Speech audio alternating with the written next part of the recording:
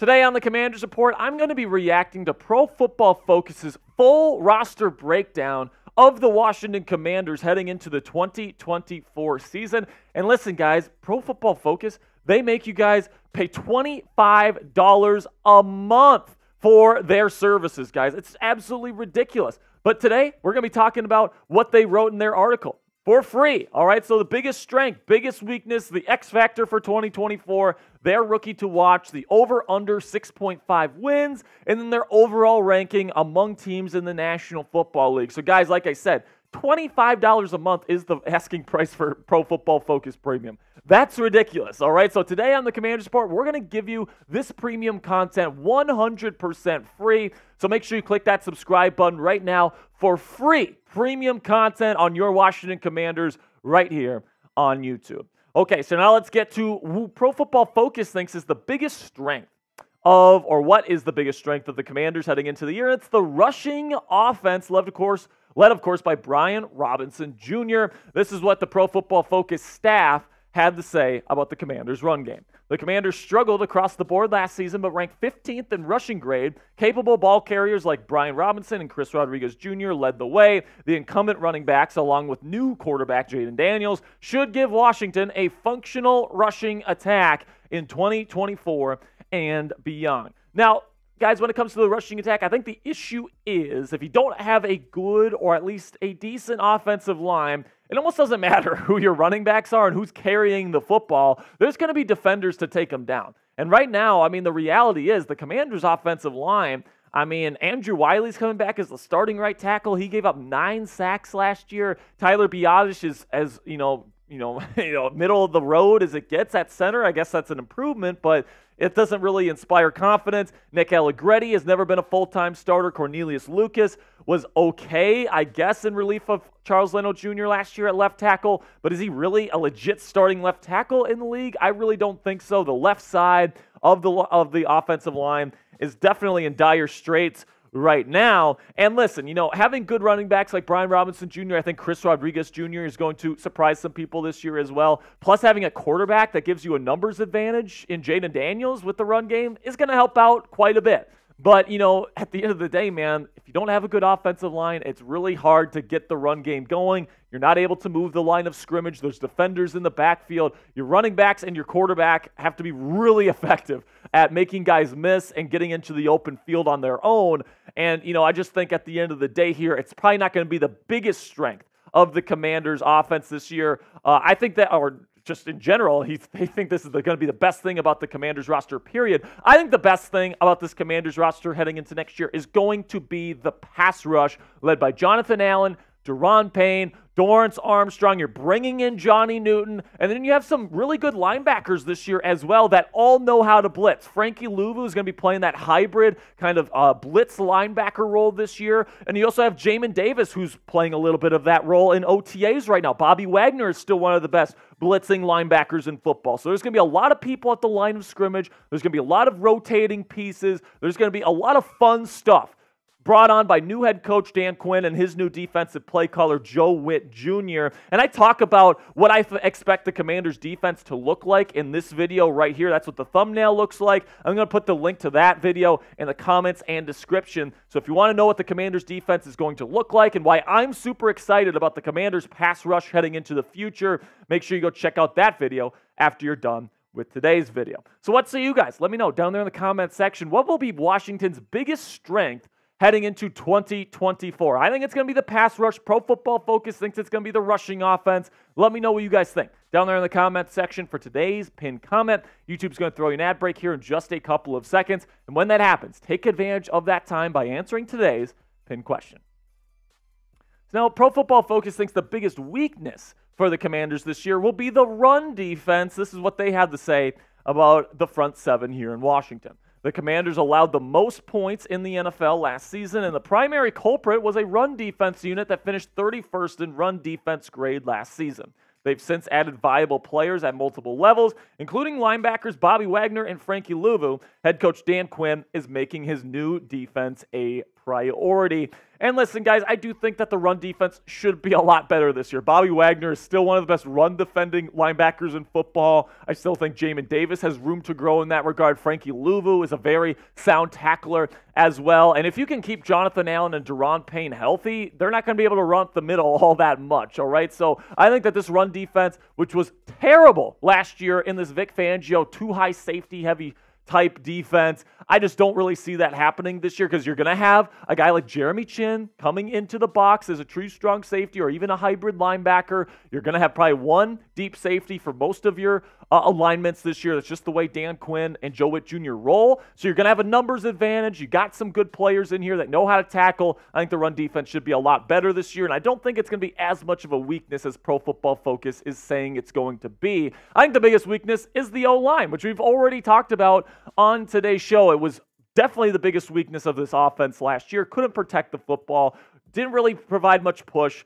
Uh, for the run game. And, you know, we've looked at this crew before, and, you know, there just doesn't inspire a lot of confidence in me. Now, maybe I'm wrong. Maybe Nick Allegretti's freaking fantastic. Maybe Cornelius Lucas or Brandon Coleman comes out of nowhere and they're legit left tackles. Maybe Andrew Wylie rises from the ashes of his career and is awesome again. Like, I don't know, man. Like, hopefully those things happen.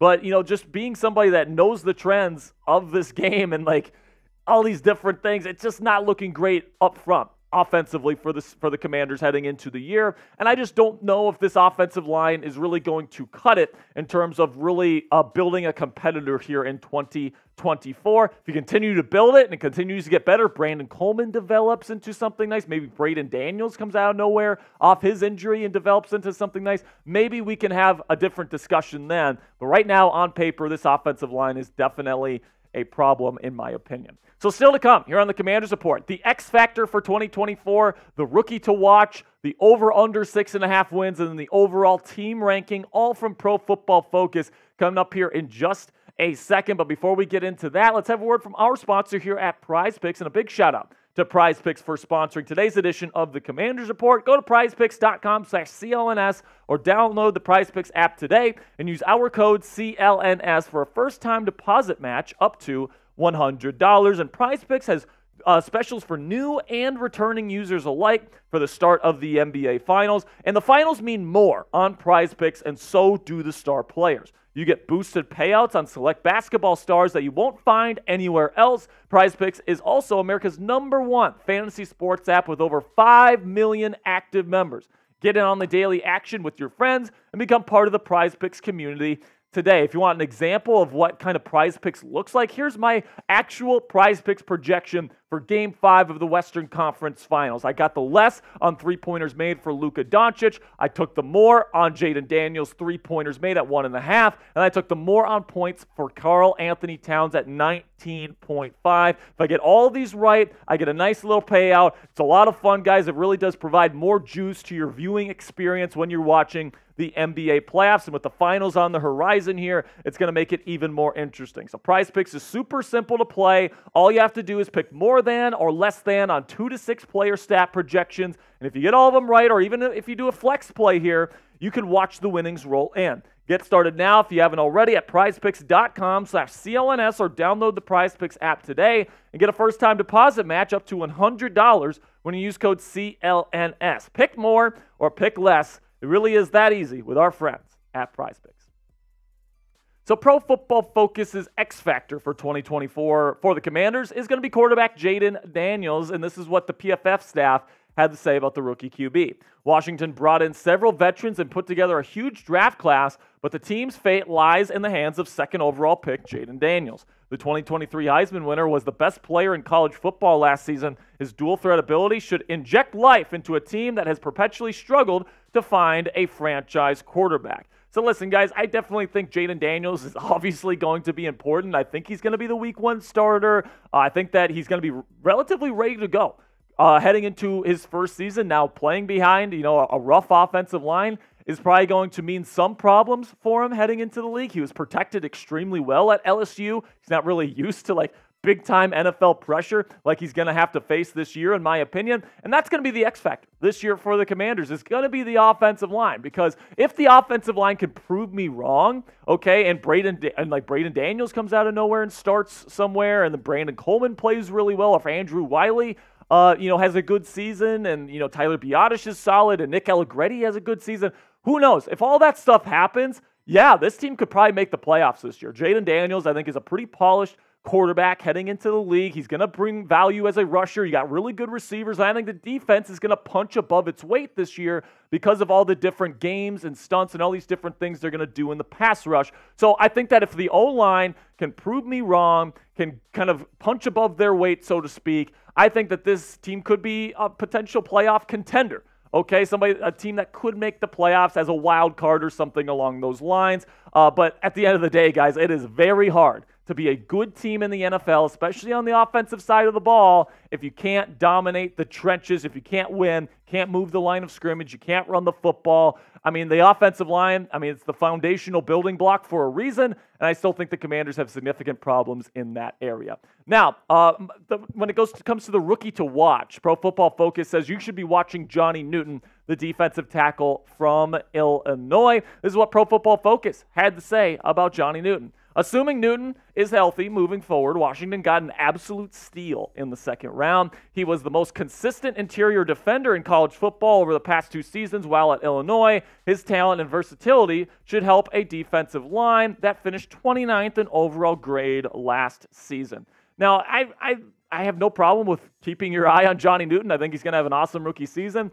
But because I didn't name Jayden Daniels as my X factor, he's going to be my rookie to watch. Because obviously, when you have a quarterback taken uh, at number two overall, you're going to keep a close eye on him because, you know, he is skinny. He is electric uh, as a rusher. You know, he's got a very interesting physical profile and you know throwing profile as well because he did have so many weapons and good protection there at LSU. Now that he's thrown into a situation where the offensive line maybe isn't going to be the best in the world, how is he going to be able to react to that, especially with the new speed that he's going to have to be facing in NFL defenses? I'm expecting uh, some really great flashes from Jayden Daniels this year, but with the offensive line play, what I expect it to be, I do think there's going to be some bumps in the road here for JD. Now, before we get into the rest of today's show, make sure you click that thumbs up icon if you are a Commanders Report Real One. If you support our show, you click that subscribe button, you watch all of our uh, videos that we put up on the channel. Really do appreciate all of your guys' support. And if you are a real one, you know that liking today's video is the fastest and easiest way to support our channel. So, what are you waiting for? Click that thumbs up icon right now. So, Pro Football Focus's guess as to whether the Commanders will hit the over or the under for their current 6.5 wins uh, projected, they're going to go with the under, okay? And this is their reasoning for why they think they're going to underperform their projection this year. While it wouldn't be surprising to see the Commanders approach or even surpass this win total, they are still starting a rookie quarterback and need Im- immense improvement on defense. This season is more about Daniels and the rest of the rookie class progressing than it is about any number of victories. So for me, guys, I think that they might get over, and I'm going to project that they get over. Okay, in my official record prediction where I break down every single game, I landed on seven wins for the Commanders. So I think they get over, but just over six and a half wins this year. If you want to see my full record prediction where I break down every single game, I get my win loss projection for all 17 games. You can go check that one out. It's also in the comments and description of today's show. Link in the comments and description. Make sure you check it out after today's show. If you want to see all seven games, I think the Commanders will win in 2024. Now it's your turn. Over or under? Will Washington be over or under six and a half wins for the 2024 season? Give me an O if you think over, or type U if you think they're going to be under. Then Pro Football Focus uh, overall ranking here, they ranked all 32 NFL rosters and teams. They had the Commanders at 27th, okay? And, you know, there's a lot of people that have them lower than this. So I think this is actually pretty generous by Pro Football Focus, especially given the offensive line play uh, that they have currently. Uh, but, you know, there's just a few teams that they had lower than the Commanders, right? You, had, you have the Arizona Cardinals, the New England Patriots, the Carolina Panthers, the New York Giants, and the Denver Broncos. And honestly, man, the Commanders play a lot of these teams next year. They play the Cardinals, right? They play the Panthers. They play the Giants twice. So if the Pro Football Focus is correct here, and you know Commanders are better than those teams, that's a pretty much guaranteed four wins for the Washington Commanders next season, which I think we uh, all hope actually ends up happening because you got to beat the Cardinals, you got to beat the Panthers, and you got to beat the Giants because those teams are in pretty dire straits right now. So make sure you guys click that subscribe button right now if you haven't already for more premium Commanders content for free every single day right here on YouTube.